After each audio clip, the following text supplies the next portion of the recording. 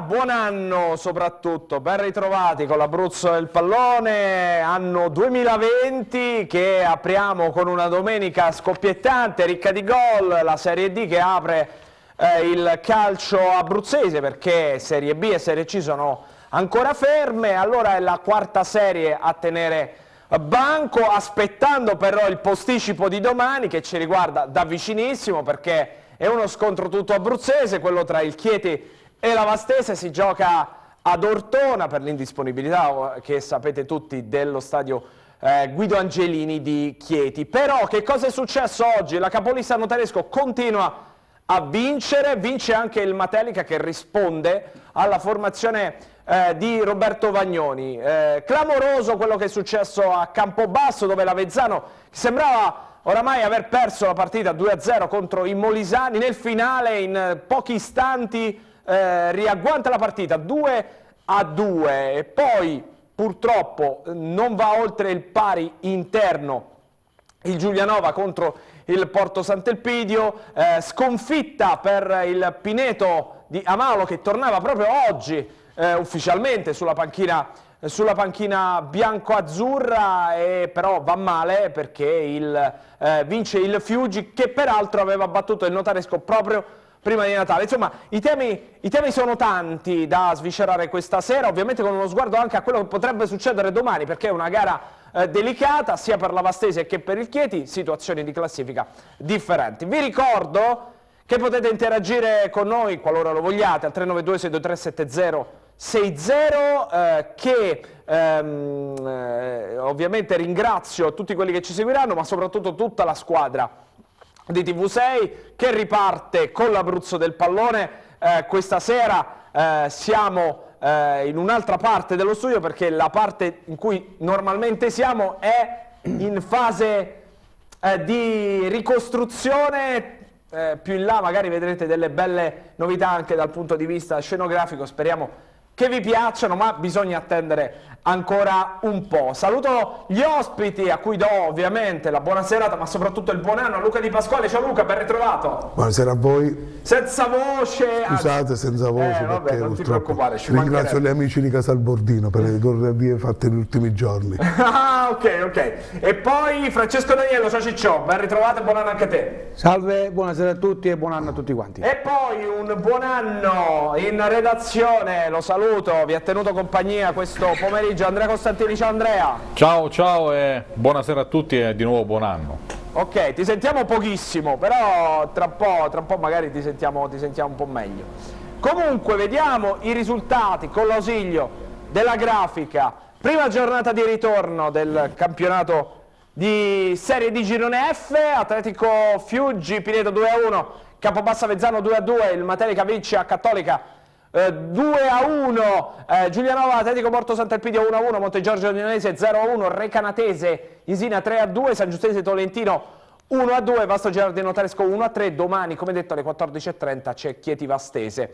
Eh, vediamo la classifica eh, cui il Notaresco continua a mantenere i 9 punti di distacco sul Materica 46 per i rossoblu di Vagnoni 37 per il Matelica 36 per la Recanatese 32 per il Campobasso 30 per il Monte Giorgio, 27 per il Pineto, 26 per Vastese e Agnonese, ma come vedete la Vastese, come il Chieti dall'altra parte, hanno una partita in meno quella che si giocherà domani, 24 punti per il Fiuggi, 22 per il Vasto Gerardi, 21 per il Tolentino, 19 per eh, Atletico Porto Sant'Elpidio, 18 per il Giulianova, 17 per Chieti e San Giustese, 15 per l'Avezzano, 12 per la Jesina e il Cattolica che chiudono la eh, classifica. Prima di eh, iniziare nella discussione, soprattutto vedendo eh, la gara di Agnone tra Vasto Girardi e Notaresco, eh, fatemi dire che questa è una prima puntata che eh, virtualmente,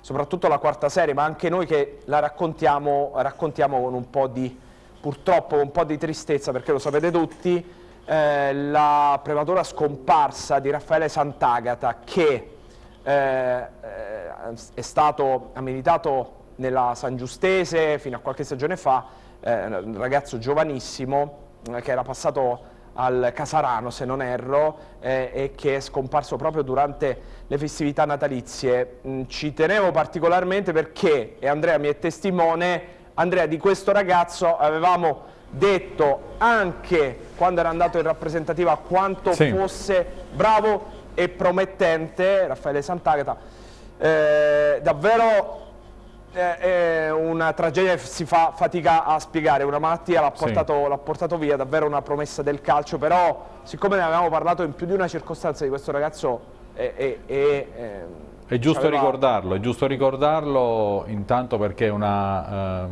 vita molto giovane eh, che si è spezzata senza un reale eh, motivo, questo insomma ha, ha lasciato eh, rattristati tutti coloro che eh, seguono mh, questi campionati e che lo hanno conosciuto nella sua seppur brevissima carriera. Noi proprio da questi studi più volte lo abbiamo citato, pur non giocando con una squadra abruzzese, ma come uno dei migliori prospetti eh, del eh, raggruppamento, perché lui ha giocato in queste stagioni eh, con la San Giustese e poi a inizio, stagione, a inizio di questa stagione si era trasferito al, al Casarano. E, insomma, eh, non ci resta che stringerci al ehm, dolore della, della, famiglia, ripeto, per una morte incomprensibile che ha gettato nello sconforto un po' tutte le squadre di questo girone che lo avevano affrontato o che, come nel caso della San Giustese, lo avevano eh, coccolato. Quindi un abbraccio a tutta la famiglia. Assolutamente, assolutamente. Peraltro ehm, ne avevamo parlato proprio la stagione scorsa con Tiziano De Patre ed, ed eri presente anche te Luca, ne avevamo parlato perché quando Tiziano era ancora CT della rappresentativa eh, della LND ne avevamo, eh, avevamo, detto quanto questo ragazzo eh, fosse bravo e promettente. Oh, torniamo adesso al campionato, rapidissimi perché poi andiamo a vedere subito il servizio di Vasto Gerardi Notaresco, che cosa vi ha colpito eh, della giornata di oggi? Luca e poi Francesco. Ma secondo me la vittoria del Tolentino a San Giusto è stata una vittoria che tra virgolette ha spaccato anche la classifica, sì. perché già un pareggio poteva essere importante anche per le formazioni abruzzesi. Invece il Tolentino, visto pure in Coppa Italia a Pineto, con i ritocchi che ha avuto nel mercato di dicembre, ha dimostrato che mi è sempre piaciuta come quadratura di squadra, solo non riusciva a fare punti e oggi negli ultimi filotti di 4-5 partite si è tirata fuori. Il rocambolesco pareggio dell'Avezzano a Campobasso è stata una sorpresa in prospettiva della prossima gara di Notaresco Campobasso e sinceramente parlando poi il, il Pineto che ha Fiuggi quantunque secondo me uno dei migliori attacchi del campionato anche quello del Fiuggi eh, credo che il Pineto qualche punticino potesse riportarlo a casa, mm. che in effetti credo che abbiano segnato a proprio sì, 1-1 e poi subito il 2-1. Di fatto il per il resto più o meno forse l'Agnonese è una squadra che a me non mi è dispiaciuta a Notaresco e non mi è dispiaciuta neanche a suo tempo con la Recanatese, è una squadra che è quadrata, eh, vincerà a Monte Giorgio che forse poi secondo me è la squadra più forte come prospettiva del girone come sorpresa. Per il resto più o meno sono quelli i risultati. Io invece al di là dei 90 minuti di, di oggi volevo fare i complimenti assolutamente al, al notaresco sì. che sta avendo una, una, marcia impressionante e credo che i complimenti vanno alla società e soprattutto a Paolo Dercolo per quello che hanno creato quest'anno e nonostante tutto anche oggi hanno fatto un'ottima un vittoria a Vasto Girardi, quindi nessuno se lo aspettava e i complimenti vanno a loro. Allora, qui intanto devi acquistare almeno altri due calciatori, chiedono al presidente Paris, altrimenti sarà eccellenza. Peraltro ehm, Gerardo Masini è tornato in Italia eh, proprio a, ad Avezzano, eh, di fatto a fare chiuso il 31, eh, il 31 dicembre, eh, oggi era in panchina, poi è, è entrato nel corso eh, della gara, eh, però eh, chiaramente questo è un innesto importante, è un ex eh, Penny, Lauretum, Canistro, Teramo. Eh, intanto oggi, un pensionato oggi mi ha chiesto ma se riporto abbonamento a Bartolini, deve essere tifoso di Giuliano, mi ridai i soldi per fare l'abbonamento al Cireo così sto due ore anche al caldo, perché effettivamente magari... La, vabbè, chiaramente un messaggio ironico. Ehm, dicevamo il notaresco che sta prendendo Francesco Scotti, eh, visto che tante trattative con tanti portieri non sono andate a buon fine per vari motivi, ricordo Gomis, Feola, eh, l'ultimo in ordine di tempo Lewandowski, non, ha, non è stato trovato l'accordo con il Teramo, a proposito poi vi daremo anche qualche news di mercato sul Teramo che non riguardano l'attacco, riguardano la difesa. Ehm, e allora arriva Francesco Scotti. Però io direi, visto che abbiamo parlato, e io di solito sono abbastanza prolisso, mi perdo in chiacchiere, facciamo così, diamo spazio alle immagini. Basto Girardino Taresco, 1 a 3, servizio. Comincia con un duro banco di prova il 2020 del Vasto Girardi con la sfida alla capolista San Nicolò Notaresco. Mister Farina deve fare i conti con la indisponibilità di Ruggeri, Keremateng e De Vizia e si affida alle giocate di Petrone per il regolare svolgimento designato il signor Cannata della sezione di Faenza. Altomolisani coraggiosi, tant'è che producono il primo pericolo per gli ospiti. Bruni non riesce a dar forza al suo destro che diventa facile preda di Monti ma al quarto d'ora passa la capolista, Siaulis deve uscire dall'area con un colpo di testa, Stivaletta recupera in tempo, cosa che non riesce al portiere locale che blocca il pallone quando ha già varcato la linea di porta. E siamo sullo 0 a 1, corner per i padroni di casa, sbuca Corbo, pallone ancora tra le braccia di Monti. Alla mezz'ora occasione che grida vendetta quella del Vasto Girardi diagonale di Petrone palla sul palo Mino a botta sicura spedisce sull'incrocio dei pali Ospiti fortunati nella circostanza, al 39esimo Di Lullo deve fare le veci di Ruggeri sugli sviluppi di un calcio di punizione, ma il portiere Teramano si rifugia in corner. Al 40esimo premiati gli sforzi del team di Farina, Petrone ci delizia con una sua giocata, sublime pennellata per Bruni che supera Monti per il punto dell'1-1, situazione di parità con la quale le due squadre guadagnano gli spogliatoi nella ripresa punizione in favore dei rossoblù, calcia frulla, sfera lontana dalla porta di Siaulis, analoga situazione al quattordicesimo, ci riprova lo stesso Frulla, l'estremo difensore giallo-blu fa suo il pallone al ventunesimo, ghiotta chance per il Vasto Girardi, Migno lanciato a rete, Sciupa come peggio non poteva, ciò che alludeva glorioso al trentaduesimo.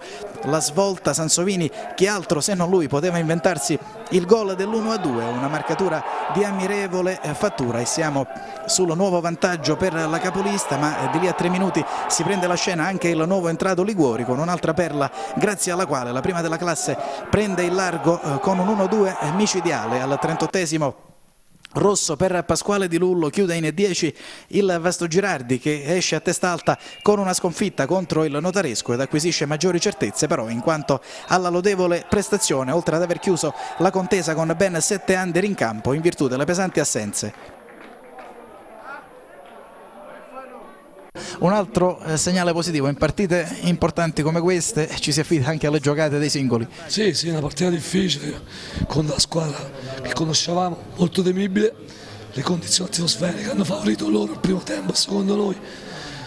E che ti posso dire, quando si vince 3-1 magari è anche, anche meritato, però la squadra avversaria ha fatto una buonissima partita e quindi siamo contenti, come hai detto tu, che è un messaggio importante che diamo a noi stessi e ripartire era fondamentale.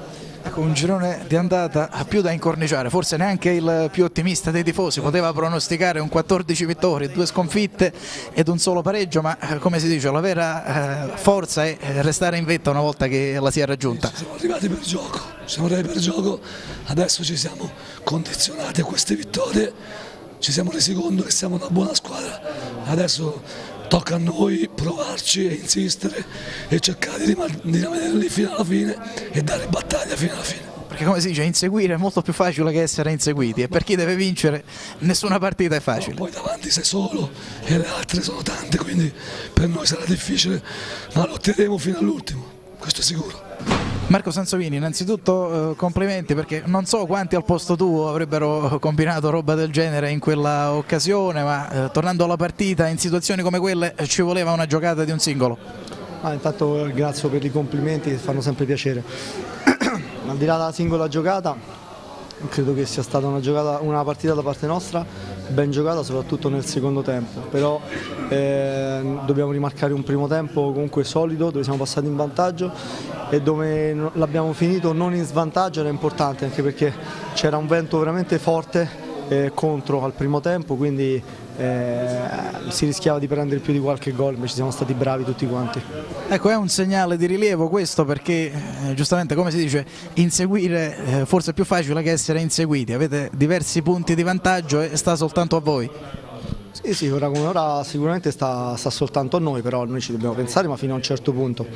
Eh, adesso ci riposiamo domani e come tutte le settimane ripartirà una nuova, una nuova settimana per, per, per, programmare la prossima partita e prepararla al meglio, perché tanto è l'unica cosa che conta è la prossima partita. Prossima partita appunto un'altra Molisana, il Campobasso che comunque lotta per un posto perlomeno al momento per i playoff, si è fatta rimontare proprio nel finale con l'Avezzano. Sì, però è una squadra fatta di ottimi giocatori, ben allenata, una, una piazza importante che eh, merita sicuramente altri, altri palcoscenici. L'affrontiamo con la consapevolezza appunto di affrontare una squadra forte che verrà a Notaresco a fare punti, noi dobbiamo essere sempre solo noi stessi. Oh, essere sempre solo noi stessi, eh, dice Marco Sansovini, che è il vero probabilmente protagonista di questa, di questa stagione eh, tra gli attaccanti. Intanto nuovo vantaggio del Genoa sul Sassuolo, vantaggio con Criscito, pareggio di Obianga, adesso Pandev. Eh, è chiaro Luca che stare davanti, farsi inseguire è sempre, è sempre meglio che inseguire, perché inseguire non puoi sbagliare mai. Però prima di andare in onda stavamo riflettendo su eh, quali sono, quale potrebbe essere il punto di svolta del notaresco, cioè le prossime tre partite. Le perché? prossime 3-4 partite secondo me sono il mandigolo è uguale a quelli di, del mister Vagnoli. Sì, solo che non vado in ti ha battuto. Secondo me ti ha battuto comunque sulla voce bassa. No, eh, perché giustamente facendo risultati con l'Avezzano, Jesina e Campobasso stesso domenica prossima, come esige nel gergo, non dai fiato agli altri di reagire e mettere nelle condizioni di un ipotetico potenziale recupero che secondo me è molto remoto. Mm. Però ecco, eh, la vittoria di oggi è importante perché si sa, dietro le riprese dopo le feste natalizie, come dice nel gergo calcistico, la caiola è sempre dietro l'angolo. Mm, cioè, in gergo! Quindi invece giocare in un campo difficile, una squadra che secondo me Vasto Girardi non è male, Mm. quindi credo aveva delle diverse assenze. Sì, eh, cioè, mancava Ruggeri che è il capitano, mancava Chiere Mateng che di fatto è uno dei insomma è un attaccante sempre più prolifici eh, esatto. campionato. Quindi no, non, non, era, non, era, semplice oggi eh, nemmeno per il, per il, vasto Girardi. Eh, oh, eh, Francesco ti faccio commentare lo so che è, è brutto però il primo gol di Stivaletta abbiamo fatto anche una minimo viola non vi sembra che, scuso l'incolpevole mister Rachini, il Pietro Calcio sia prima un progetto credibile e ben strutturato per fare il salto di qualità? Poi ne parliamo, e poi parliamo proprio del, della situazione eh, in casa Pineto, soprattutto eh, perché poi vi faremo sentire anche le parole del patron eh, Silvio Brocco. Eh, Francesco, ti faccio eh, commentare la moviola del gol di Stivaletta, perché oggi insomma questo Siaulis non è che abbia convinto tantissimo. Innanzitutto, bella l'idea di Stivaletta di tirare direttamente in porta, poi... Poi va, va, respinta quella palla? Abbia perso totalmente la, la, la, posizione della porta, anche perché stava andando indietro. In primis, secondo me, visto la, la posizione del corpo, poteva anche smanacciarla e... Alta? Sì, sulla traversa e magari concedere il calcio d'angolo. A questo punto invece voleva bloccarla e se l'è portata in porta. Mm. Però non capisco perché me la fai commentare. No, no, no, no, vabbè, no, ti... ah. Eh, eh, era, era, solo perché comunque, secondo me, non sai perché in fondo, perché avevo luglio a Vasto Girardi che no, c'era il ragazzo no, no, no, no, no, no, perché eh, te potevi essere uno al posto di Stivalete e poteva tirare anche in porta, ah, okay. che a te ti sarebbe venuto in mente no, quel tiro, pensavo, no? visto che fino a, a pochi giorni fa avevo il portiere luglio, il 2000 che era Basso Girardi. Ah, era, no, era no, no, no, Poi dopo non era è voluto. Ah, è, no. è, andato a Lucca e, mm. e loro hanno deciso di, di, prendere il ragazzo del 99. Mm. Pensavo che era per questo. No, no, no, no, no, no, no. Fra parenti, come diceva Sanzovini, mhm. -huh. il, giocavano a favore di vento quelli del Vasto Girardi sì. quindi fare una cappellata di quelli secondo me anche molto io posso capire il vento te lo deve anzi a il vento era a favore del Vasto Gerardo. Quindi doveva rallentare il tiro, sì. quindi ancora maggiore la cappellata a mio giudizio. Era la prima, c'è l'impatto all'esordio. Andrea, allora i prossimi, eh, faccio il conto, 9, 18, 23, 270 minuti eh, in casa con il Campobasso e poi doppia trasferta Jesina e Avezzano saranno fondamentali per il notaresco. Quanti punti secondo te deve mettere insieme per cominciare ad avere, non mi dire 9?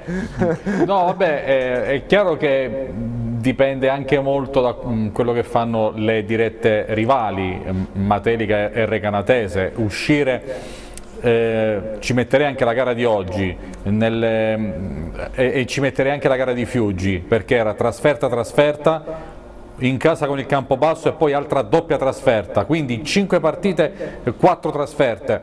È chiaro che se il Notaresco esce fuori con un vantaggio intatto eh, di queste dimensioni attuali, beh, eh, sarebbe davvero un, affare, eh, perché eh, questo è il momento in cui Notaresco dovrebbe, agli occhi delle avversarie, dare segnali di cedimento. 4 partite in trasferta, rallentamento, le avversarie rosicchiano punti, e, e, cominciano a mettere pressione verso una squadra che non era abituata a questo tipo di torneo che sta, che sta giocando. E da febbraio-marzo la pressione si farà sentire, sempre di più sarà schiacciante, eh, quindi mantenere questo vantaggio sarebbe eh, fondamentale, quindi io ti, non ti rispondo con un numero di punti secco ma ti rispondo che sarebbe fondamentale restare con questo vantaggio, se poi fosse addirittura aumentato eh, tanto meglio, in quest'ottica è fondamentale aver vinto quest'oggi, una gara difficile contro una squadra che ad Agnone eh, fa mh, tremare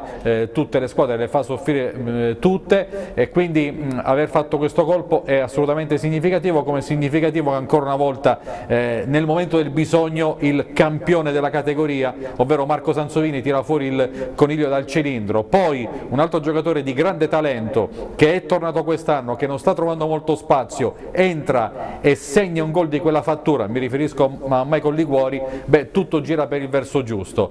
Chiudo dicendo che la partita di domenica è fondamentale per la classifica e lo sarebbe stato ancora di più se oggi Notaresco non avesse vinto e Campobasso lo avesse fatto, invece addirittura c'è stato l'allungo del Notaresco, ma siccome ci sono delle vecchie frizioni tra una parte dei, del campo basso eh, perché lo staff tecnico, direttore sportivo allenatore erano a Notaresco, eh, diversi giocatori erano a Notaresco lo scorso anno. Io spero che eh, domenica tutte le attenzioni siano sul campo, che non accada nulla, che si mantenga tra virgolette la calma e che tutte le energie siano messe da dirigenti, giocatori e pubblico verso la propria squadra per spingerla alla vittoria, perché in un momento magico, in una stagione magica come questa, questa non bisogna compiere nulla per guastare la prossima partita e anche il prosieguo del campionato. Il Notaresco deve pensare solo e soltanto al campo e a battere il Campobasso sul campo dopo averlo già battuto all'andata, perché non c'è cosa migliore che eh, batterlo, tutto il resto non conta, bisogna fare risultato e mantenere il vantaggio della classifica e puntare a un obiettivo straordinario, il resto, lo ripeto, non conta. Francesco, eh, eh, sono perfettamente d'accordo con Andrea, tornare dalle, dalle, vacanze di Natale, quindi da una sosta insomma, di qualche giorno, tornarci da capolista e avere, sapere di avere una trasferta così delicata eh, poteva effettivamente essere una sì, trappola. Però hanno reagito bene. Io vedo adesso in giro una squadra uh, al di là della posizione di classifica molto serena. Sì. Capitanata da tra virgolette due vecchietti, compreso Frulla, tre, eh, che è Marco Sansovini, Pomante. Marco Pomante, eh, sì.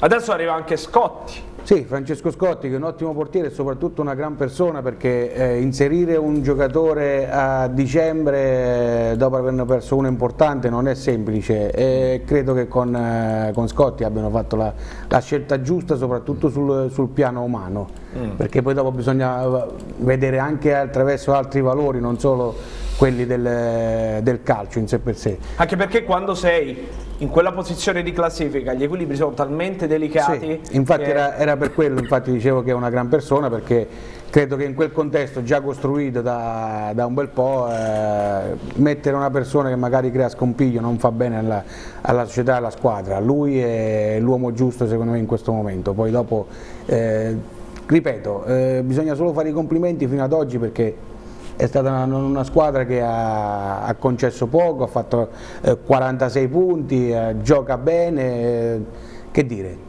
niente, eh, li ho visti anche abbastanza sereni, quindi assolutamente sì. Oh, molti meno punti ai noi ha fatto il Giulianova che oggi ha pareggiato contro l'Atletico Porto Sant'Elpidio. Vediamo il servizio 1-1 firmato da Paolo Renzetti. Dopo tre sconfitte consecutive con un solo punto all'attivo conquistato nelle ultime quattro gare, il Giulianova inizia il 2020 con un pareggio che non può far fare salti di gioia e che conferma il momento difficile per la formazione del presidente Bartolini che resta così invischiata in zona rischio. Alfadini giallorossi si presentano con la novità di Bifulco in porta, squalificato Barlafante in attacco, spazio al giovane Cesario. Si comincia al piccolo trotto e con tanto equilibrio e con le due squadre che si annullano annullano affrontandosi nella zona di centrocampo. Al ventinovesimo, al primo vero affondo, la squadra di casa si porta in vantaggio con Federico Di Paolo che inventa e con Cesario che si fa trovare pronto all'appuntamento con il gol del vantaggio e primo assoluto per l'ex attaccante della Bagica Lupovasto in Serie D. Esplode l'esultanza dei tifosi giuliesi per un gol importante che rompe l'equilibrio di una gara davvero molto molto difficile per i padroni di casa e ci crede la squadra del tecnico del Grosso che al 34esimo si rende nuovamente pericolosa con Cipriani che prova a trovare il gol della domenica con la sfera che non inquadra però lo specchio della porta. La reazione dei marchigiani si fa attendere ma al 37esimo Cucù tutto solo davanti a Bifulco si fa respingere il suo tiro dal prodigioso intervento dell'estremo locale. Il match ora è vivace con le due squadre che si allungano e con le emozioni che aumentano. Al 39esimo si rivede il Giulianova con Federico Di Paolo che mira l'incrocio e con Gagliardini che però reattivo andando a deviare il pallone in calcio d'angolo. Ultima azione del primo tempo, targata ancora Giulianova con Torelli che in area bianca-azzurra controlla e tira mettendo di un soffio alto. Nella ripresa al nono subito pericolosi gli ospiti con il neoentrato Niane che in area vede il suo tiro deviato finire in calcio d'angolo. Gli ospiti però appaiono determinati, al secondo tentativo trovano al diciannovesimo il pareggio. C'è un tiro di Ruzier che viene respinto da Bifurco con Niane che è il più lesto di tutti con il tapin vincente vincente che regala alla sua squadra il gol del pareggio. Doccia gelata per i padroni di casa che accusano il colpo, non riuscendo più a rendersi pericolosi anche a causa di un calo fisico. Cerca così di approfittarne invece la formazione bianca-azzurra che al 35esimo una ghiotta occasione con Ruzier che con un tiro violentissimo sfiora il palo della porta giuliese dopo una bambola di Bifulco e compagni. Passano i minuti con i locali che soffrono, riuscendo però al 41esimo a rendersi nuovamente pericolosi con Cesario che ha una buona opportunità con la sua conclusione che però non inquadra lo specchio della porta marchigiana. 90 secondi dopo l'attaccante giuliese va a commettere fallo su Gnane lanciato in contropiede rimediando il rosso diretto e lasciando i suoi compagni in 10 in un finale di partita che non regala però altri sussulti con i ragazzi del tecnico del Grosso che escono dal campo al 95esimo tra i fischi dei propri tifosi delusi dalla prova offerta dalla squadra. Giulianova che dovrà invertire la rotta ad iniziare già dal derby di domenica prossima all'Aragona di Vasto. Vergogna! Giglio un pareggio che non può far fare salti di gioia al Giulianova, eravate comunque riusciti a sbloccare questo risultato, poi è arrivato nel secondo tempo il pareggio del Porto Sant'Elpidio che ha giocato meglio soprattutto nella ripresa. Sì, hai detto benissimo, insomma, al primo tempo abbiamo fatto la nostra partita, siamo stati, siamo stati, bene in campo, siamo andati meritatamente in vantaggio, abbiamo avuto anche qualche occasione per poter raddoppiare, al secondo tempo siamo proprio, siamo proprio crollati, insomma, ci hanno, hanno tenuto campo bene loro, hanno avuto più occasioni e non è così, assolutamente così, una squadra che vuole salvarsi non, non deve affrontare così i 90 minuti o i 95 minuti. E, insomma, abbiamo perso tutti i contrasti e questo ci dispiace perché insomma, da parte nostra c'è sempre il massimo impegno, cercare di, di, di, far capire quale deve essere la mentalità giusta per, per salvarsi, oltre, pass oltre, che passare attraverso il gioco, insomma, attraverso l'agonismo e la cattiveria che in queste partite fanno la differenza. Espulsione di Cesario nel finale fotografa un po' forse il momento del Giulianova, anche un po' di, di nervosismo quando non arrivano i risultati e così. Beh, sì, ci dispiace perché insomma, è un ragazzo secondo me importante che può fare bene. È il primo anno che fa questa categoria, però insomma è, ha fatto 70 metri di campo pur di, di recuperare palla, ma non, non c'è nulla da dire, anzi è quasi inciampato, quindi è, ci poteva anche non stare secondo me l'espulsione, anche se farlo poi da, a vederlo sembrava, sembrava cattivo, ma non, non era sicuramente volontario. Classifica che resta deficitaria alla vigilia del derby domenica prossima, difficile all'Aragona con la Vastese classifica che oggi ci avrebbe permesso di, di stare meglio, però insomma siamo, siamo, lì, ci dispiace tantissimo, ci prendiamo comunque questo punto, visto come erano andate le altre partite, sarà dura fino alla fine, sarà, ci sarà da lottare fino all'ultima giornata, ma questo lo sapevamo e è importante capirlo che sarà così fino all'ultima giornata. Prima di tutto sono soddisfatto dei, dei ragazzi, sono soddisfatto della prestazione perché venire qui a Giulianova e provare a giocare già secondo me è una cosa molto positiva, sono soddisfatto dei ragazzi perché hanno reagito dopo l'1-0 del primo tempo. E poi il risultato alla fine mm, l'unico rammarico che stiamo perdendo tantissimi punti ma non oggi, anche in altre partite, l'unico rammarico che ho, però dei ragazzi dell'attenzione, di come giochiamo, di come hanno voglia, non posso rimproverare niente, sono contentissimo, stiamo sulla buona strada, l'unico problema è i punti perché poi alla fine quello che conta sono i punti.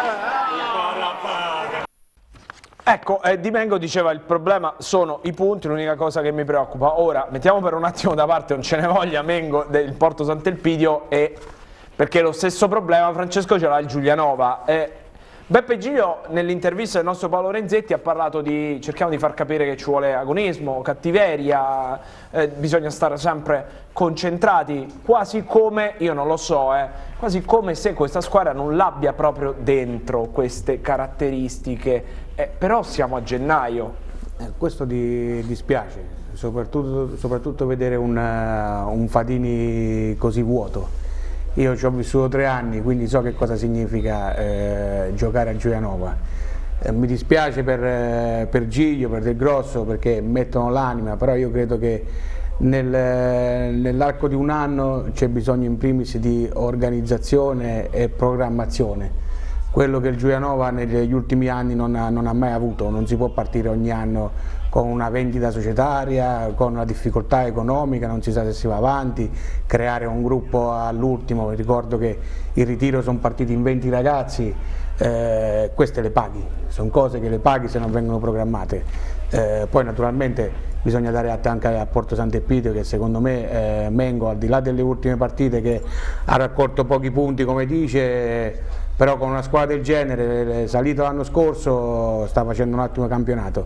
Cosa che vedo difficile a, a Giulianova che si riesca a venirne fuori così facilmente. Come dice eh, Giglio eh, c'è da, da, lottare fino all'ultima giornata e se questi sono i presupposti, soprattutto come nel secondo tempo, credo che si faccia fatica. Ecco, eh, a me hanno un po', non so Luca, a te, hanno colpito un po' le parole di Giglio, perché insomma è stato molto sincero ha detto nel secondo tempo effettivamente loro hanno giocato meglio, noi abbiamo perso tutti i contrasti, eh, ma eh, cioè, la rosa adesso da qui alla fine più o meno questa sarà, cioè il, il Giulianova è alla prima del girone di ritorno a 18 punti, cioè il girone di ritorno è partito, adesso ci vuole un cambio di marcia, altrimenti per la salvezza è dura.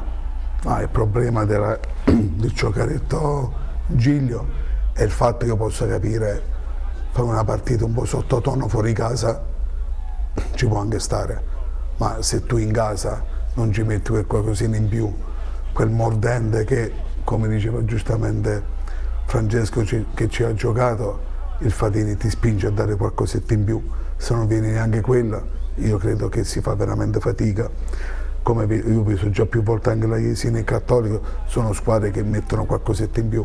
Mm. E Giovanova in casa quest'anno ha dato molti punti alle squadre avversarie, mm. anche sì, scontri diretti con Tolentino, sono punti che alla lunga sai che con loro devi fare punti. Sì. Non, perdi in casa con Notaresco, qualcuno è rimasto dispiaciuto, ma ci può stare, con una Telica, Recanatese, va bene. Ma eh, i scontri diretti con Jesina, San Giustese, eh, Porto San del Pidio, Tolentino, devi farla tua. Mm, e credo sì. che questi sono quei 3-4 punti che a Giunava mancano. Mm, sì, giustamente l'impostazione, la, società, come diceva Francesco, è importante per una realtà come Giulianova. La, la, la gestione Improvvisazione in zero. Sì. cioè, se ne vuole parlare. Sì, molti, molti anche nelle settimane mercato. scorse, eh, prima di, di, Natale, insomma dopo la finestra invernale, alcuni tifosi ci avevano anche scritto insoddisfatti del, di come eh, il Giulianova si era, si era rinforzato nel, nel, nel mercato invernale. E... Ma Jacopo, non, non, non tanto su, sugli acquisti, credo io, eh, perché poi dopo chi è arrivato c'era già l'anno scorso che aveva fatto bene, ma eh, lo stesso Bifurco, eh, penso che qualche settimana fa, se non dieci giorni fa, era messo fuori, mm. attualmente è in campo da titolare. Lo stesso Suriano che aveva fatto benissimo nelle ultime due partite, eh, mentre attualmente eh, si ritrova fuori anche lui, nonostante tutto è un giocatore del Giulianova a tutti gli effetti e rimarrà fino a fine anno. Cioè, queste cose qua credo che facciano male al, al gruppo e alla squadra nella gestione generale di, di un anno. Andrea, te che ne pensi?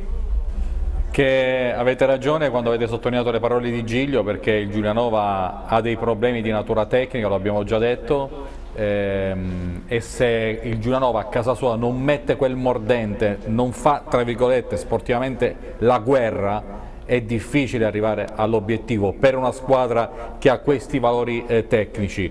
Eh, aggiungo, eh, Bifulco e Di Piero sono stati sempre in ballottaggio, per un periodo di tempo eh, si alternavano, anche questa è una cosa piuttosto anomala, poi negli ultimi tempi aveva giocato Di Piero, oggi è ritoccato a Bifulco. Aggiungo che, aggiungo che dopo gli ultimi errori anche un totem come Diamutene oggi è andato in panchina e centrali hanno giocato Nazzari, ok, e poi Ferrini che è un giocatore un po' adattato, eh, o meglio nasce centrale ma negli ultimi tempi ha giocato terzino, quindi insomma per essere un giocatore di, di quel livello eh, e dovrebbe essere una colonna di Giulianova eh, che parta dalla, dalla, panchina fa un po' specie, magari non era al 100%, però eh, detto questo, eh, e oggi non era al 100% Francesco Di Paolo e ha giocato eh, Vitelli, eh, detto questo è una squadra che ha bisogno di mettere grande agonismo, sì. soprattutto al Fadini, altrimenti la salvezza si fa difficile difficile. Assolutamente, poi peraltro settimana prossima c'è anche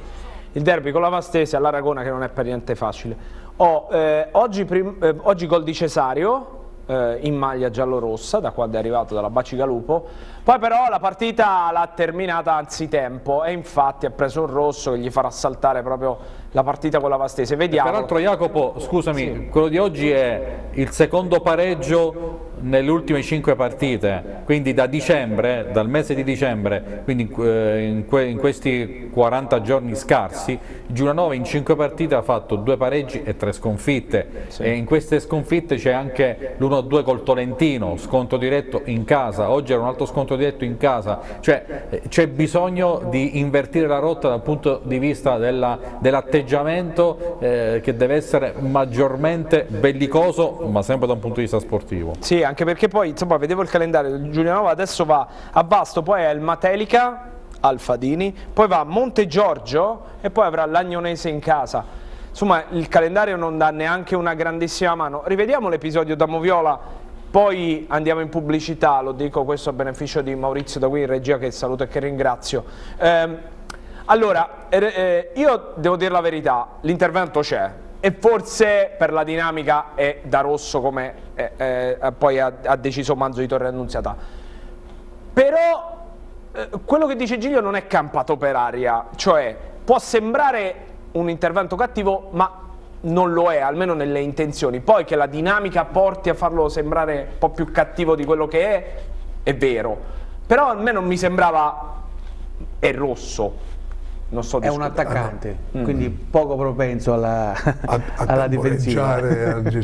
perché se non ci fa caso la poteva dare anche la munizione, perché se uno rivede le immagini, il numero 8 del Porto Sant'Elpidio, quando è andato a tirare Federico Di Paolo, ha fatto più o meno le stesse entrate nei confronti del giocatore giuliese, mm. là non ha neanche ammonito. Qua la palla l'ha presa dopo il giocatore del Giulianova, quindi il, il, giocatore non poteva anche fare più niente con la palla, tra virgolette, rivedendo così. Mm, sì. Lui è stato un po' troppo irruento. È stato irruento, ecco. È proprio plateare davanti all'arbitro. Mm. Però se avesse temporeggiato di più, però ecco come diceva giustamente Francesco, l'attaccante l'attaccante. Tant'è vero diciamo che... ha pagato un eccesso di generosità. Sì, sì, sì, sì sicuramente. Tant'è vero che eh, eh in fase di montaggio del servizio si sentono anche le voci del, del, del, dello stadio. C'era chi gli diceva guarda tienilo lì perché tanto non va da nessuna parte. Eh, cioè era in una zona quasi morta il campo. La palla l'aveva persa perché il sì. terzo giocatore del Giulianova avrebbe sicuramente preso lui il pallone. Sì, eh, è, è, evidentemente un eccesso, un eccesso di genere. Anche la stanchezza. Sì, come Francesco? Era stato triplicato, anzi. Sì, era stato triplicato, però comunque bravo questo Niane, eh, che è un classe 2001, che oggi non solo ha fatto gol, ha creato tanti problemi, è entrato nel corso della ripresa, ci ha detto Paolo Renzetti, sottolineatelo perché è un ragazzo veramente, veramente molto molto interessante. Comunque, va bene, noi ci fermiamo per la pubblicità, al rientro andiamo a Fiuggi per vedere la sconfitta del Pineto contro il Fiuggi, a tra poco. Teoricamente, lo sa perché la... Eccoci rientrati, seconda parte dell'Abruzzo del pallone, eh, se vince le prossime tre poi perde le altre, non so se si riferisce al Notaresco o al Giulianova. Forse, dai, rispondo sul fatto del Notaresco che abbiamo parlato delle prossime tre partite. Vabbè, è chiaro, è chiaro, se vince le prossime tre poi perde tutte ma cose che non ci auguriamo, ovviamente. Eh, sì, è chiaro che statisticamente... Uh, e se Matelica e Recanatese perdono per... sempre fino alla fine eh, del campionato? Pietro cosa sto programmando? Società lo sbando, incapace di programmare con troppa pescaresità nelle decisioni. Però a proposito di Pineto, ci andiamo a vedere la sconfitta di Fiuggi per 2 a 1. Stefano Recanati. Non comincia nel migliore dei modi la Maulo bis a Pineto che esce sconfitto per 2-1 dallo stadio Capo i Prati contro Atletico Terme Fiuggi in una gara in cui l'11 bianco-azzurro avrebbe meritato il pareggio. Tutti a disposizione per il mister che si schiera con il 4-3-1-2. In difesa c'è la coppia Pepe Speranza, a centrocampo l'esperienza di Stefano Amadia con Marianeschi e Camplone a gire da mezzali. In avanti a quadro agisce dietro le punte Tomassini e Di Gioacchino. Tutti a disposizione anche per mister Incocciati, il quale disegna la squadra con il 4-3-3 in difesa c'è Scalon, a centrocampo Falasca, Forgione e Papaserio, in avanti con Bomber d'Andrea ci sono Basilico e Macri. Il direttore di gara è Negrello di Finale Emilia. Primi 20 minuti di studio tra le due squadre con il Pineto che si fa preferire in fase di possesso palla con a quadro in molte occasioni libero di agire tra le linee, ma al 24esimo arriva il primo squillo della gara di marca locale con Papa Serio che ci prova dal limite ma il suo tiro fa la barba al palo con Amadio Remo immobile. Alla mezz'ora nitida occasione per il Fiuggi con Forgione che viene liberato da Basilico in area di rigore ma il tiro del centrocampista Frusinate non inquadra incredibilmente lo specchio della porta. Due giri di lancette e a rispondere è il Pineto, coast to coast di a quadro che entra in area di rigore rigore e serve di Gioacchino, ma il classe 2001 pecca di cattiveria sotto porta, così sfuma un'occasione d'oro per i ragazzi di Amaulo. La gara diventa vivace, ma è un errore in uscita degli Adriatici a spianare la strada del vantaggio locale. Malinteso tra Tomassini e Amadio in mezzo al campo, ne approfitta il Fiuggi che va subito al cross con Forgione, in area di rigore dove rompe D'Andrea che di testa batteremo Amadio. La risposta del Pineto è tutta al 42esimo in una punizione calciata alta da quadro. La ripresa propone subito una novità nelle fila del Pineto, c'è in campo D'Angelo al posto di Camplone. Il Pineto ci prova subito a rientrare in partita, ma il tiro di Amadio dal limite è facile preda di Kingari. Poi la volta del Fiuggi con D'Andrea, anche lui dal limite che impegna a terra l'estremo Remo Amadio. Al quarto d'ora buona occasione per il Pineto, prima è a quadro dal limite ad impensierire Kingari che si rifugia in angolo. Dalla bandierina è sfortunato il Pineto con il palo colpito da Di Gioacchino. Il Pineto spinge con più convinzione in questo secondo tempo, chiudendo il Fiuggi nella propria metà campo. Amalo crede nel pareggio ridisegnando la squadra passando al 4-4-2 al 36 ventiesimo però è ancora Fiuggi a farsi vedere in avanti, questa volta con il centrocampista Papaserio che al volo non inquadra lo specchio della porta. Ma il Pineto non si dà per vinto e perviene al pareggio al 38esimo. Punizione del neoentrato Simoncelli, il quale pesca in aria l'altro neoentrato Festa, bravo di testa a incrociare la palla e battere Kingari. Il Pineto a questo punto vede la possibilità di portare a casa il pareggio, ma da un fallo in una zona morta del campo ne viene fuori una punizione che fa lasca pennella in aria per la sponda aerea di un suo compagno verso il secondo palo dove è appostato il solito d'Andrea che fa esplodere il capo i prati. A questo punto sembra finita per Pepe e compagni, ma al cinquantesimo l'occasione del pareggio capita sui piedi Tomassini che si divora il gol del possibile 2-2 finale. Finisce con la rabbia del presidente Brocco e con il Pineto che dovrà tornare subito a lavorare per affrontare nel migliore dei modi il derby casalingo contro il Chieti. Mister Amaulo un po' deluso dal suo nuovo debutto qui a Pineto. Sì, è chiaro, magari ci si aspetta subito un risultato positivo dopo un cambio terzo cambio di allenatore, e, però come ho detto e dico ai ragazzi e nessuno ha la bacchetta magica, bisogna ripartire tutti insieme, ritrovare un po' quelle certezze e solidità di squadra che possa far sì ecco, di fare prestazioni importanti e poi il risultato so figli delle prestazioni. Ecco, avete anche approcciato bene la gara, avete subito gol nell'unica azione del primo tempo del Fiuggi, poi nella ripresa li avete chiusi lì, c'è stato anche il gol del pareggio, prima disattenzione vi ha puniti e vi ha fatto uscire sconfitti da questo campo. Comunque si può ripartire anche da una prestazione diciamo non deludente. Beh, sicuramente la prestazione non è stata deludente perché la squadra, come ha detto lei nella prima frazione, pur giocando contro Vento, ha concesso soltanto una palla gol per di più, per demerito nostro perché abbiamo perso una palla in uscita.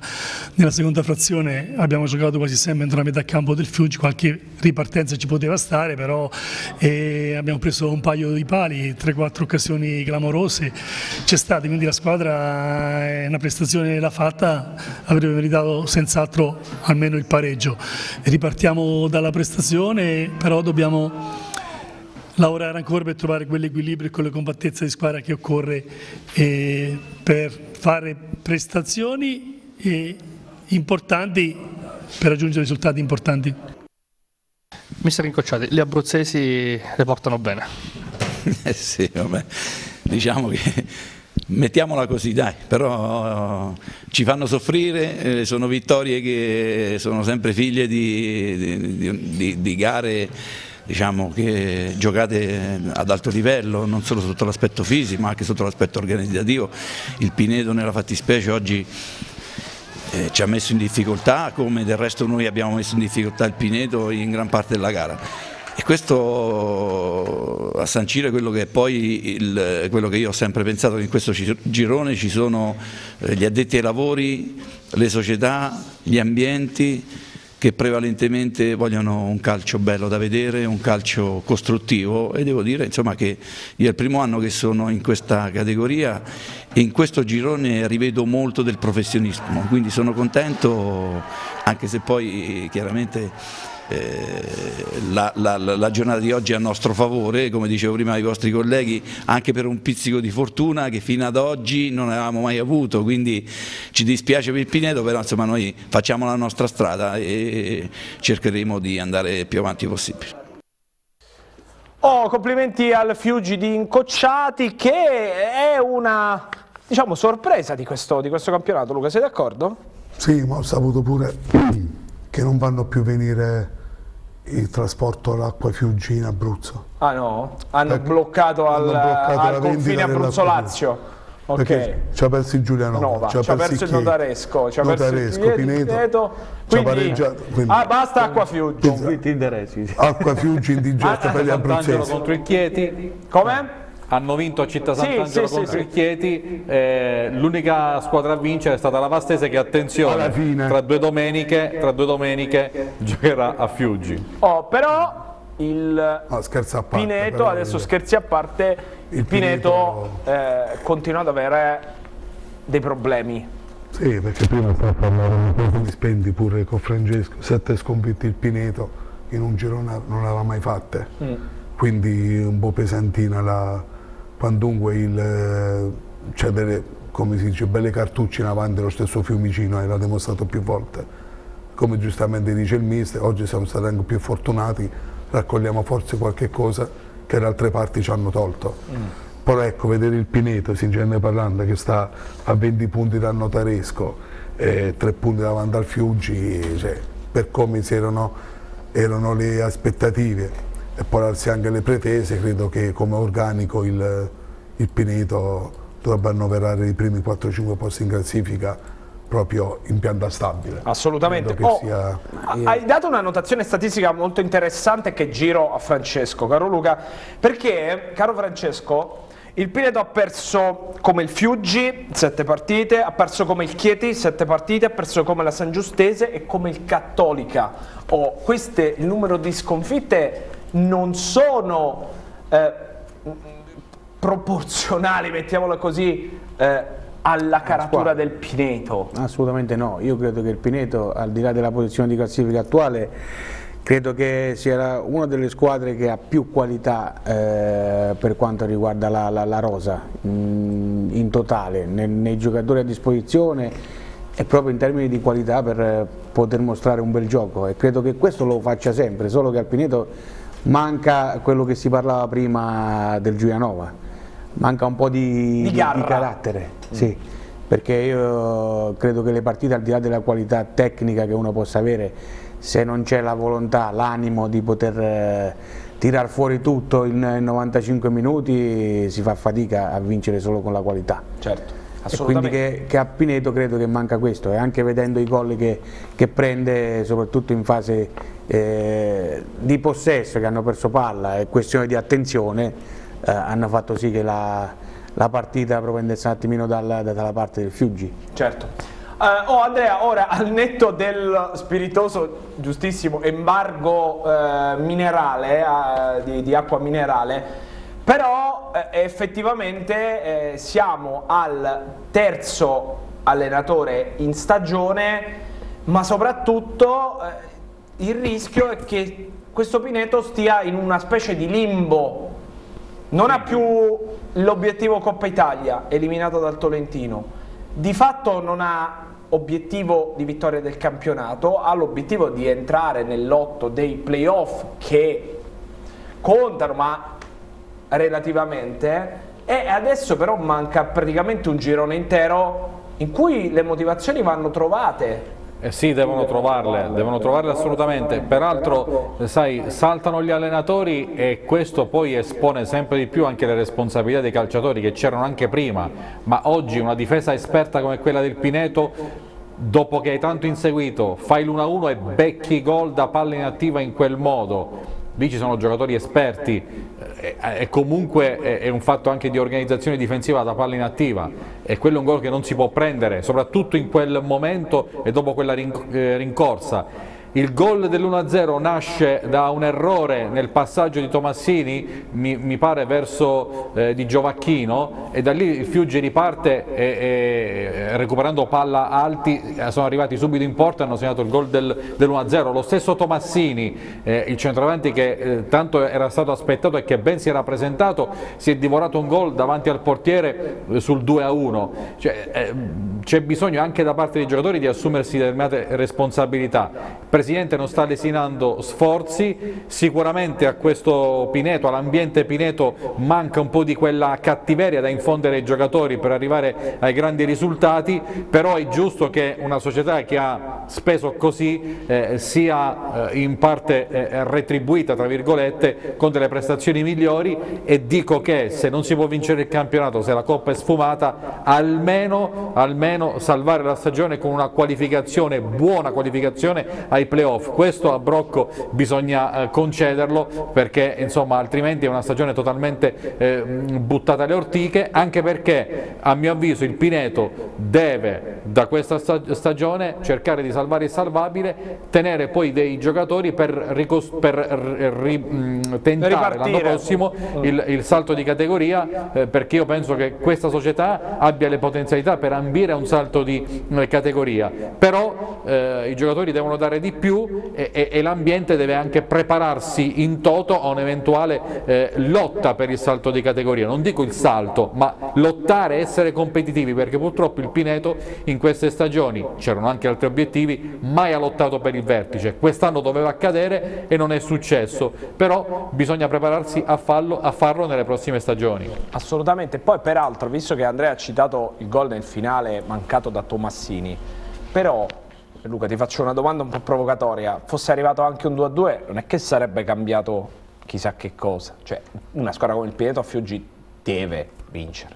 Ah, sicuramente anche col cambio di allenatore qualcosetta in più si poteva sicuramente fare, e soprattutto che avevi pareggiato e ti dovevi giocare gli ultimi minuti affinché potessi vincere la partita, eh. invece palla a centro hai preso gol subito subito dopo, quindi certo. significa che come diceva giustamente Francesco e Andrea, anche un po' a prescindere dalle qualità tecniche, un po' di disattenzione a livello mentale, una certa applicazione in più ci vorrebbe, mm. perché io credo che Amaddio, Marianeschi, Bianciardi, eh, a quadro, io penso che poche squadre possano annoverare questi giocatori, oltre ad avere altri calciatori in panchina. Con Pepe dietro e lo stesso l'ex Teramo Speranza. Cioè, credo che sia una squadra, sinceramente parlando, non me ne vogliono chi, chi sta lì a Pineto, ma al minimo secondo me potrebbe avere 34-35 punti sì, chiusi. Doveva sì. averli. Poi a prescindere che erano sempre 10 punti dietro al notaresco, ma ciò perché il notaresco sta facendo lo straordinario. Certo. Perché sì. se no un campionato poteva essere tranquillamente sui 40-42 punti la prima e gli altri giocare a 36-37 punti e arrivare fino alla fine. Eh, Andrea? Ma sì, domani TV6 seguirà che ti Pastese? Certamente. Sì, certamente. Eh, no, mi ha sorpreso il fatto che oggi Amaulo ha cambiato atteggiamento tattico, questa squadra ha giocato, ha giocato quasi sempre con il 4-3, oggi ha giocato con il trequartista a quadro e con due punte, mettendo un under come di Giovacchino più Tomassini. Probabilmente, ma non abbiamo parlato direttamente con Amaulo, questo è dipeso dal fatto che Amaulo ha voluto sfruttare un po' di più la grande qualità che ha a centrocampo, perché oggi in panchina era Bianciardi con il centrocampo a 3 nelle ultime partite Bianciardi a quadro sono stati sacrificati, eh, magari giocando un under più Amadio e Marianeschi, eh, forse con il rombo di centrocampo Amauro ha cercato di sfruttare di più eh, la grande qualità che c'è a centrocampo, anche perché rinunciare a quadro in questa categoria eh, forse è davvero troppo, eh, però questo non ha, non ha funzionato. Eh, non solo la strutturazione degli under se può essere rivista in qualche modo, magari con, rimettendo Shiba in porta, anche se Remo Amadia eh, Remo Madio ehm, è da grandi certezze eh, perché a quel punto con a quadro Tomassini e uno eh, che sia una seconda punta over, eh, magari Alessandro, eh, insomma il potenziale si eleverebbe non di poco, anche se oggi poi è entrato Festa e, e ha segnato, certo. però, però, il potenziale c'è per, per lavorarci. Oh, fatemi dare una eh, una notazione di servizio a chi ci sta scrivendo ma via sms non via whatsapp. Via sms abbiamo un problema con gli sms quindi se avete scritto vi chiediamo scusa ma non riusciamo a riceverli. Gli sms normali, tradizionali, whatsapp non c'è problema però magari qualcuno da casa dice io ho mandato però non avete mandato proprio non ci, non ci stanno arrivando. Eh, oh siete curiosi di, di sentire cosa dice Silvio Brocco? Oggi è arrabbiatissimo alla fine della partita di Fiuggi lo ascoltiamo Presidente Brocco, l'annata non è ripartita con eh, il piglio giusto, una sconfitta qui a Fiuggi, l'abbiamo vista abbastanza arrabbiato alla fine della gara. Eh, arrabbiato, deluso, sconfortato perché chiaramente dimostriamo di essere una grande squadra, giochiamo bene però poi siamo penalizzati da, da degli errori elementari di alcuni singoli. Eh, la squadra deve, deve, rivedersi, si deve ricompattare, devono parlare tra di loro perché dimostriamo tante cose belle, però eh, stiamo lasciando troppi punti, oggi la stessa cosa, abbiamo giocato bene, eh, non abbiamo messo dentro due palle, dentro dentro la porta e questo ha dell'incredibile, ci fa star male, però eh, il mister con tutti gli atleti adesso sanno quello che devono fare, è sconfortante, sconfortante però ci dobbiamo riprendere, ma siamo penalizzati, ripeto, da, da errori ingenui come il secondo gol determinato da un punizione che ha proprio dell'elementare, non, non, si può commettere un fallo, con una palla già, già andata fuori. Ha parlato con i ragazzi, parlerà ancora con loro? No, loro sono sconvolti, quindi io li devo rincuorare un po', però al di là dello sconforto il calcio è questo e dobbiamo riprenderci il più presto possibile. Sconfortato si è definito il presidente Brocco, ma Andrea, io ho visto che te hai seguito con particolare attenzione soprattutto la parte finale mm. e so che c'è una parte, che io condivido, che non ti ha convinto, proprio l'ultima parte dell'intervista al presidente Brocco, che se dovessi dargli un consiglio, dovessimo mm. noi dargli un consiglio, gli diremmo proprio di non fare. E poi anche Luca e Francesco sono d'accordo perché ho visto i loro sguardi. Non rincuorare i calciatori, Presidente, cioè, questo è il, è il consiglio, eh, bisogna pretendere di più, arrabbiarsi e pretendere di più, che poi che si perde è chiaro che sono dispiaciuti i giocatori, è dispiaciuto il Presidente, però più che rincuorare in questo contesto bisognerebbe eh, pretendere di più, arrabbiarsi e pretendere di più e probabilmente anche lì bisogna fare un ulteriore scatto. Mm. Oh, ci chiedono se facciamo una trasmissione solo per chi ti va stese. No, però domani sera trovate servizio su YouTube, sui nostri telegiornali, tutto quello che volete, però una trasmissione intera no. Eh, però posso dire una cosa, io, io Mari, qualcuno ci avrà tenuto a giocare con l'Epifania, però domani eh, il turno dell'Epifania c'è anche tanta Serie A con il eh, big match anche tra Napoli e Inter. Una, un bel Chieti Vastese oggi avrebbe avuto, sai sì. quanta eco? Eh, sì, sì, assolutamente. Mm, in questi casi rincuorare? No, rincuorare. Te rincuoreresti, ma che? no, pensando il Presidente come si comporta tutti gli anni, e lo dicono le cronache, è una persona seria, affidabile e preciso.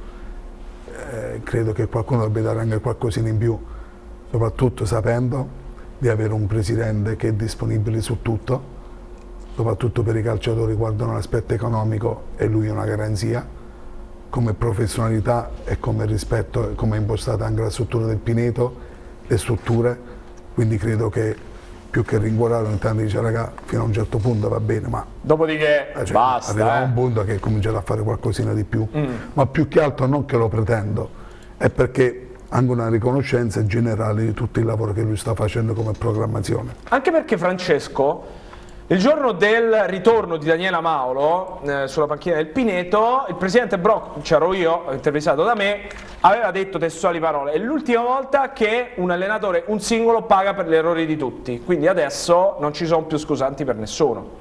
Assolutamente sì, cioè, ribadisco quello che ho detto poc'anzi, i, i gol presi eh, sono questioni di disattenzioni eh, singole come ribadiva anche il, Presidente, cioè, sul fattore punizione laterale dove io conosco Amauro ed è eh, meticoloso sulla preparazione di queste cose, cioè, che si può dire? Eh, cioè, soltanto che non c'è attenzione giusta per, per, dire ora non prendo gol, eh, non è questione di, di, di, preparazione tattica, ora non prendo gol è quello che mi riferisco anche alla, alla voglia di mettere in campo qualcosina in più che, che, che, ti permette di poter raggiungere un obiettivo, un risultato.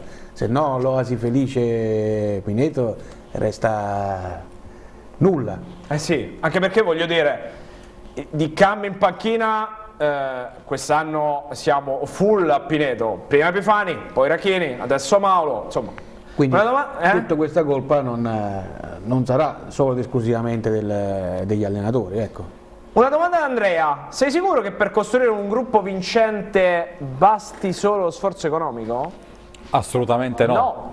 Assolutamente no, il notaresco è la situazione più chiara, c'è un, esempio attuale in questo raggruppamento, non è la squadra più tra virgolette costosa, ma si è costruito un gruppo importante, eh, quindi è chiaro che non serve soltanto quello, altrimenti ad esempio Canilla, Matelica eh, piuttosto che collezionare secondi posti e comunque grandissime stagioni, magari sarebbe arrivata eh, una volta la promozione, eh, però è chiaro che anche quello serve, a Pineto ci sono queste potenzialità, lo dice l'organico di quest'anno del Pineto, eh, bisogna però fare meglio a 360 gradi perché la classifica, o meglio i punti, perché il notaresco rischia poi di fuorviare nella valutazione, il, il notaresco eh, ha, ha, decisamente... Ok, mettiamo la classifica e non consideriamo virtualmente il notaresco che sta facendo un campionato straordinario. 27 punti non dicono, non dicono quello che doveva essere la stagione del Pineto.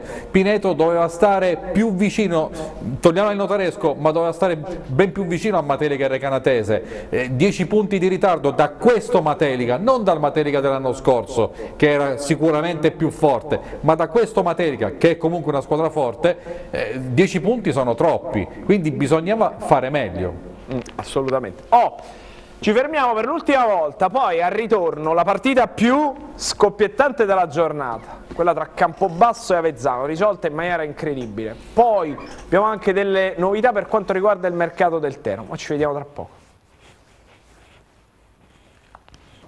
Eccoci rientrati, ultima parte dell'Abruzzo del pallone, tra poco Campobasso Avezzano, una partita incredibile, però intanto vediamo qualche news di mercato per quanto concerne il Teramo, eh, che tornerà a giocare settimana prossima, trasferta contro la Sicula Leonzio, torna a giocare eh, la Lega Pro dopo la lunga pausa, peraltro condita anche dallo sciopero sulla defiscalizzazione eh, che ha fatto saltare il turno del 22.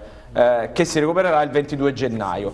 Eh, allora, eh, partiamo dagli attaccanti, sono vicini i due del Catania, lo sapete, insomma è eh, oramai questione consolidata, Barisic e Curiale, prossima settimana dovrebbe essere decisiva per far arrivare i, eh, i due attaccanti, Barisic non è proprio una prima punta ma è un giocatore offensivo che può dare sostegno a, a Magnaghi che in questo momento è il titolare eh, mentre Curiale è proprio una prima punta a tutti gli effetti. 32 anni per Curiale grande esperienza. Questa mattina eh, c'è stata anche l'amichevole con la Berretti 8 reti per la formazione di Tedino che va verso il ritorno al 4-3-1-2, quindi il modulo con il trequartista, lasciando per il momento accantonato le due sottopunte con eh, l'unica punta centrale, ehm, anche, anche, oggi Magnaghi e Birligea, eh, che è un ragazzo, un prospetto molto interessante. Però, però siccome è un'esigenza dopo l'infortunio di Luca Di Matteo, quella del terzino sinistro, perché su quella parte di campo c'è il solo Alberto Tentardini e allora eh, il Teramo va su Sergio Contessa, eh, giocatore della Feral Pisalò, eh, classe 1990, 29 anni per Contessa, eh, la Feral Pisalò che ha un contratto fino al 2000 eh, 22, eh, fino al 2021 eh, ma potrebbe raggiungere, qui è in maglia Padova eh, le immagini che state vedendo Contessa, però potrebbe raggiungere presto eh, la formazione di eh, Bruno Tedino, è certamente un laterale di grandissima esperienza con campionati ottimi alle spalle, alla Ferral Pisalò potrebbe essere in uscita e con la Ferral Pisalò peraltro ci sarebbe anche il discorso legato a Riccardo Martignani Drago che eh, è in uscita dal Teramo, eh, che ha un contratto fino al 2021, neanche a farlo apposta, quindi ha un contratto di ugual lunghezza eh, e dunque potrebbe o essere preso singolarmente Contessa oppure magari è un'idea, rientrare all'interno di uno scambio con Martignaco che va a Salò, alla Feralpi e Contessa che raggiunge eh, l'Abruzzo. Eh, questa ve la diamo perché insomma come ci è eh, arrivata, eh, è arrivata questa, questa, notizia che potrebbe essere interessante per i tifosi, per i tifosi del Teramo. Comunque, comunque, detto questo ne continueremo a parlare eh, martedì sera dalle 21 per, per un'ora con Pro Teramo che ritorna dopo la pausa. Eh, andiamo al nuovo Romagnoli di Campobasso eh, dove l'Avezzano fa davvero un'impresa perché era sotto praticamente al novantesimo per 2-0, finisce 2-2 il servizio. Follia della Befana per il Campobasso che impatta contro un Avezzano non eccelso dal punto di vista tecnico, a cui si riconosce il merito di averci creduto fino all'ultimo secondo. Finisce 2-2 con gli ospiti che pareggiano nelle battute finali di gara. Giornata gelida, circa mille spettatori, una manciata da Avezzano, la curva nord Scorrano tributa un pensiero a Nicoletta Valente, sfortunata tifosa del Campobasso, deceduta nella notte di Natale per una tragica fatalità. Di dirige il signor Rispoli di Locri. A cominciare meglio sono gli ospiti vicini al gol al terzo, la punizione di Quadrana, la pala carambola sulla testa di Candellori che rischia seriamente di segnare nella porta sbagliata. Dal corner che ne segue i rossoblù sono un po' svagati dopo una serie di rimpalli alla conclusione di Di Curzio respinta secondo gli avezzanesi con un braccio da Candellori. Gli ospiti chiedono a gran voce il calcio di rigore ma Rispoli fa capire che è tutto nella norma. Quasi al decimo, conclusione centrale di Candelori, facile la presa per Camerlino Berlengo. Un minuto più tardi è Zammarchi a ritagliarsi uno spazio ma defilato manda la sfera alta sopra la traversa. Partita equilibrata e divertente, l'Avezzano viene in Molise per fare punti perché lo impone la classifica al tredicesimo. Azione veloce dei rossoblù da Alessandro a Candelori che riesce ad allargare per Zammarchi il quale conclude e segna favorito senza dubbio dalla deviazione di Magri che mette fuori causa Camerlengo. Secondo gol consecutivo per l'attaccante Bebi rossoblù. Il campo basso è in partita e potrebbe potrebbe già bissare al ventesimo e Cogliati a intraprendere un'azione personale dopo aver saltato Magri riesce ad andare via di Giacomo, la corsa prosegue una volta in aria, la punta di casa manda fuori di un soffio. Lupi bene anche se gli abruzzesi che al ventunesimo perdono il tecnico Meco Monaco espulso dalla panchina sfiorano il pari con un buon cross dalla sinistra di Di Giacomo su cui si tuffa Traditi mandando al lato forse di un metro. L'azione si capovolge sono i rossoblù a invocare un calcio di rigore da cross di bontà da destra la palla rimbalza a terra e giunge ad Alessandro che viene ostacolato da Di Gianfelice. La punta di casa protesta ma non ottiene il rigore sperato. Quando attacca il campo basso è anche spettacolare. Al ventottesimo velo di Alessandro per Cogliati che conclude il tuffo di Camerlengo nega il gol. I rossoblù meritano di trovarsi avanti al 36esimo palla per il destro di Alessandro con sfera non di molto a lato. Fine primo tempo per, con i campobassani in vantaggio di misura con le immagini di Francesco Di Rienzo nella ripresa dopo due minuti tolto un gol a Zammarchi. Dopo il cross di Alessandro da sinistra secondo l'arbitro la punta numero 11 avrebbe commesso fallo su Siragusa protestano i giocatori di casa. l'Avezzano cambia dal sesto dentro Masini al posto di Rabbeni. Brividi di freddo a Selvapiana qualcuno provocato anche dal portiere Natale che al settimo dal rinvio rischia grosso con Di Curzio lì nei pressi che tocca il pallone al nono scalda il destro Alessandro risponde presente Camerlengo. Quattordicesimo il Campobasso ipoteca la vittoria. Ingresso di Alessandro in area e passaggio orizzontale mal gestito dalla difesa ospite. Ne approfitta Candellori che calcia incontrando la deviazione del legno ed un balletto della palla sulla linea di porta. Prima che il cuoio varchi la linea fatidica. 2-0 con gol di uno dei più volitivi della squadra. nell'Avezzano fuori Puglielli e Siracusa dentro Cancelli e Puglielli omonimo dalla panchina. l'Avezzano costruisce poco o nulla. Al 26esimo e Cancelli a effettuare una scivolata senza però impattare la sfera. Cudini cambia. La prima volta al 29esimo fuori Cogliati dentro Musetti a seguire negli ospiti fuori Morales dentro Crass mentre Cudini avvicenda anche Menna che si è fatto male per inserire Sbardella Natale. Sugli scudi al 33esimo spazio interessante in area per Agate. Respinto sul primo palo dal portiere di casa. Il Campobasso si riserva altri spunti nel finale. Siamo al novantesimo quando si potrebbe triplicare Camerlengo a servire involontariamente Musetti il quale sbaglia nel servizio successivo ad Alessandro e non calcia in porta. Dentro anche la barba al posto di Vanzan mentre al 92esimo Traditi dell'Avezzano viene espulso per somma di ammonizioni causa un fallo su Candellori nel recupero succede l'imponderabile. Comandati 6 minuti il Campobasso involontariamente prepara la frittata a se stesso al 94esimo da una punizione dalle retrovie salta Magri favorendo la sforbiciata di Di Gianfelice che vale il primo gol ospite. Il gioco riprende ed i rossoblù accusano un minuto di follia. Al 96esimo vedete come Candellori non riesca a controllare un pallone poi amministrato e lanciato da Cancelli all'indirizzo di Agate su cui in area di rigore Pistillo frana. L'arbitro indica il dischetto a Selvapiana, se possibile il gelo aumenta dal dischetto e Agate che segna il punto del clamoroso 2 a 2. Non c'è più tempo, l'arbitro decreta la fine, i rossoblù accusano un grosso calo mentale. Nel finale, trascorreranno un'epifania molto amara, l'Avezzano esce da Selvapiana decisamente rinfrancato nel morale. Vorrei sottolineare comunque la prova dei miei ragazzi perché noi il primo tempo stavamo sotto però penso che avevamo fatto una buona partita, avevamo mancato anche qualche gol nel primo tempo siamo stati sempre in partita, la squadra non si è mai disunita fino alla fine, nonostante poi abbiamo perso un uomo in mezzo al campo. Abbiamo avuto un pizzico di fortuna che era da tempo che non girava dalla, dalla nostra parte. È un risultato che ci dà morale e speriamo di proseguire su questa strada perché questo è un buon punto contro una squadra sicuramente forte come sanno tutti. Quindi siamo molto contenti, sono contento eh, per i tifosi che si sono fatti questa trasferta, sono contento per la società, per il Presidente che comunque eh, fa tanti sacrifici, sono contento per tutti e dobbiamo proseguire su questa strada. A noi siamo stati bravi a crederci fino alla fine, questo per me è un segnale forte, i ragazzi mi hanno dato un grande segnale, avevo chiesto questo prima della partita perché per salvarsi bisogna lottare con il coltello tra i denti. E loro l'hanno fatto, adesso ci godiamo questo pareggio che è un bel pareggio, soprattutto come è arrivato e dobbiamo iniziare a lavorare per la, la prossima partita.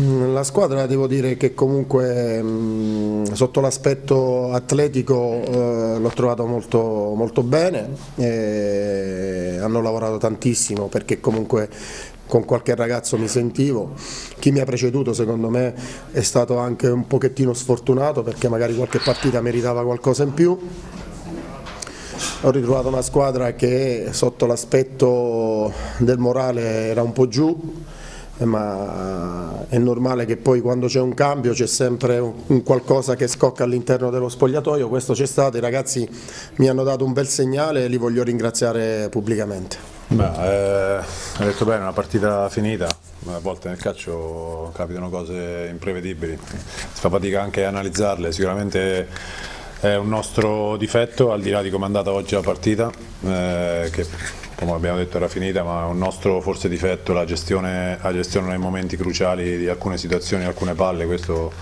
su questo dobbiamo migliorare molto, però faccio fatica a analizzarla, sì, eh, potevamo stare più attenti, potevamo essere più tutto, ma in un minuto una squadra come la nostra o anche altre squadre credo fa fatica a pensare che si possa rimettere in piedi una, o dar fiducia a una squadra con un uomo in meno e sul 2-0 al cinquantesimo al secondo tempo. Quindi faccio i complimenti ai ragazzi per come hanno fatto la partita, questo sì, eh, sicuramente mm, incazzati a dir poco per come è finita la partita. Ho deluso e non potrebbe essere altrimenti Mirko Cudini, noi ci fa particolarmente piacere questa rimonta clamorosa dell'Avezzano e nessuno se lo aspettava, però insomma sono stati 5 minuti in cui diciamo sono saltati un po' tutti gli schemi, sono saltati forse... I giocatori sono svenuti. sì, tu ti riferisci a Musetti. Io penso Musetti, quel 3-0, io penso se dovesse ricapitare 300 volte non ha scaricato la palla a Prote, sembrava il difensore della Vezzano. Intanto ti chiedo un pronostico su Chieti Stese, poi poi te, lo, poi te, lo, faccio dare, ti faccio terminare il concetto sulla il, eh, come ciò che ha fatto Musetti lo fa il difensore dell'Avezzano mm. che è svenuto sul 2-0. Sì. L'appoggio, ma non perché, cioè, venendo filmato non è che io sono un professore, no, no, no. So, però in certe situazioni sai che giochi a campo basso, la proteggi bene la palla, la calci, fai ripartire l'azione. Mm. Sono delle disattenzioni, come diceva giustamente Francesco, capitano a tutte le squadre ma fino a prova contraria dilettanti soltanto per la categoria, certo. perché per i costi che, che, sostengono i presidenti credo che eh, qualcosetta in più a volte mm. dovrebbe anche starci. Oh, una supplica, meno chiacchiere, lo so, però caro amico da casa, sono cinque servizi e un'ora e mezza di trasmissione, se non approfondiamo un po' noi. Però un bel eh. punto per la Vezzano, come ha detto giustamente il mister Mecomone, che faccio sì. in bocca al lupo per il rientro, sono contento che farà molto morale, soprattutto in prospettiva nella prossima partita con la San Giustezza uno scontro diretto, vincendo li scavalca. Quindi penso sia tutto lavori meglio durante la settimana quando non perde, certo. questo è poco ma sicuro. Ciao Francesco, buon anno anche a te, come ho detto anche prima, no, domani non ci sarà una un diretta stadio per Chieti Vastese, chiaramente no, però ci sarà il servizio, saranno le interviste, i nostri telegiornali, anche sulla nostra pagina YouTube, sul profilo eh, Facebook, su, eh, sul sito tv6.it. Eh, una rimonta veramente inaspettata Francesco, però non so, sì. in questi casi è demerito il 50% da una parte di una e merito di averci creduto fino alla fine di una squadra che era rimasta anche in 10 perché è stato espulso anche Traditi. Sì, di averci creduto assolutamente sì, anche perché mancavano 5 minuti di recupero, stare sotto 2-0, uno in meno eh, a campo basso poi avrebbe distrutto un pochettino tutti, eh, però più che altro qualche eh, episodio come il gol che sul 2-1 al 92esimo credo, eh, poi dopo devi gestire meglio gli ultimi tre minuti finali. Sì. L'entrata neanche... quella di Pistillo per calcio di rigore è fondamentalmente sul 2-1 palla al centro è tua. Mm. Quindi devono passare quei due minuti in maniera molto serena, fuori dal, dal, dall'area e fuori dal, dalla tua metà campo. In quello c'è stato, stato, un po' di, di casino a centrocampo che hanno fatto sì che si creasse l'azione la, gol finale che ha distrutto tra l'altro i 90 minuti ottimi del, del campo basso, nonostante l'Avezzano non abbia eh, demeritato un 3-0 come poteva succedere nel, nell'occasione sbagliata. Certo. Oh, Ciccio, uh, scusami, fatemi dire che comunque a Campobasso se ne vedono perché io ricordo anche quel 4-4 col Fiuggi eh, molto accaduto nel finale, oggi 2-0 al 95esimo, eh, al 97esimo 2-2, comunque se ne vedono di tutti i colori a campo basso. Eh. Si vede che come ha detto Cudini, quando cala la, la, la, tensione finisce tutto, per loro era finita la partita, sullo 2-0 con il gol mangiato il 3-0 e e alla fine ci hanno lasciato le penne. Per non parlare di quello che ha combinato Musetti. sì, sì, sì. Eh, ti viene da ridere. Solo che voleva fare, giocava da solo. Né Provenzano né Campo Oh, ci proiettiamo un secondo, visto che te l'hanno chiesto alla partita di domani. Chiedi Vastese, se vuoi, come ti hanno chiesto da casa, un pronostico. Uh, io più prosaicamente ti chiedo che partita ti aspetti. Ma prima di tutto mi hanno vado a vederla, almeno mi auguro di vedere una bella partita. Mm. Sicuramente è una squadra più grindosa e determinata con due o tre settimane in più di allenamento dal mister Di Meo. Mm. Tra virgolette anche un ex, quindi un po' il dente avvelenato nel senso buono, calcisticamente parlando, ci può stare. Hanno rinnovato, penso, 15-20 giocatori ma non so, ne ha. Beh, sono tanti. Quindi ho un organico veramente oro da posti medio-alti della classifica perché avere davanti Sarruz, Sarrizzu, Sivilla e, e, Traini penso che le ultime sotto in classifica non ce l'abbia nessuno. Mm. E la Vastese d'altro canto è una squadra costruita per fare bene, poi non è partita nel migliore dei modi, anche perché il Mister Amelia, avendo fatto altri gironi, non conosceva bene questo agonismo e la professionalità, come ha detto il mister Ingocciati prima, eh, perché ci sono squadre che sono idonee a certi gironi e ad altri fa un po' più fatica. Certo. Però ecco, è sempre un derby che come organici sono due ottime squadre, credo che domani una vittoria di una delle ambo potrebbe dare un valore aggiunto al campionato per la Vestese in, in ottica playoff per Ricchetti in ottica salvezza. Mm. Un pareggio li tiene ancora lì, dire abbiamo levato una partita, ce la giocheremo fino alla fine per raggiungere gli obiettivi. Oh, secondo me anche il fatto di, di, giocare con 24 ore di ritardo sulle altre conosce anche i risultati di tutte le altre tue avversarie, sia del Chieti che del, della Vastese, potrebbe essere un'indicazione importante. Peraltro in casa eh, Vastese mancherà Giorgi squalificato in difesa e poi gli infortunati Pompei e Pollace.